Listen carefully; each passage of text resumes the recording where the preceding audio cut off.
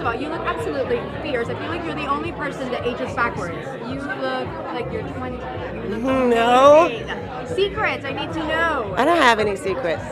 What's your, what's your, how do you take care of yourself? What's I your work out, Do. but not not not the regular type of gym. Just no machines.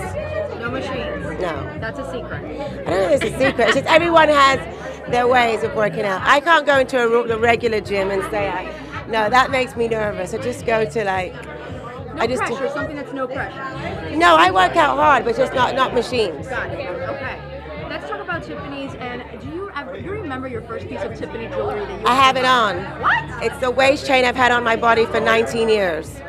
You're kidding. No, platinum. I came here and had custom made. Yeah. And that was, uh, wait, do you remember the moment you came here and got that made? I mean, what, what was Um, that like? I it mean, felt very special to be leaving with my blue box. Um, I just think Tiffany's is always coming from London. I mean, we have Tiffany's in London, of course, but it's just something so special about being here in New York on 57th Street, and it's so part of New York to me.